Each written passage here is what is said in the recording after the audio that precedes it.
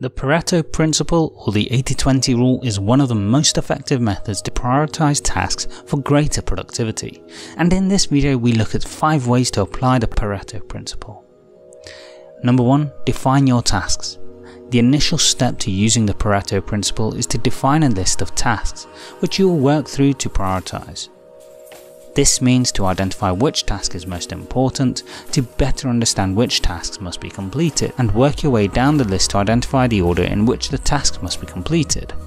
It's worth defining tasks using a method such as the SMART goals principle, which will help define more clear and complete tasks. Number 2. Identify the top 10. From your list of tasks, identify the top 10 tasks based on priority. Then, from your top 10 tasks, take the first task, which is the most important task from your list. Following on from this, select the second highest task on the list. By doing this, you identify the 20% of tasks that will give you the 80% of productivity that you're aiming to work towards. Number 3.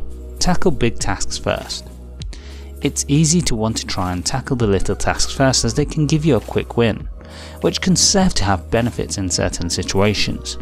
However, in terms of tasks, always try to tackle the tasks you identified as the most important first, with the second next, as doing this will always give you the biggest rewards and highest progress towards your overarching goal.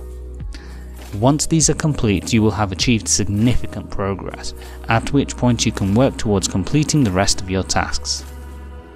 Number 4. Repeat the cycle.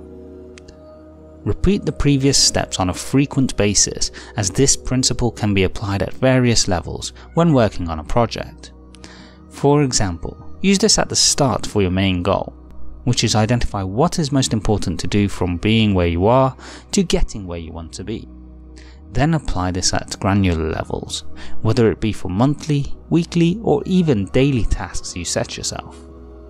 Number 5. Increase efficiency.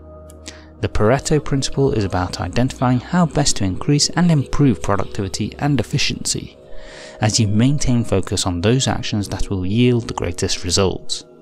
However, it does not mean to ignore the details, which can still be of value in the long run, especially in terms of delivering quality.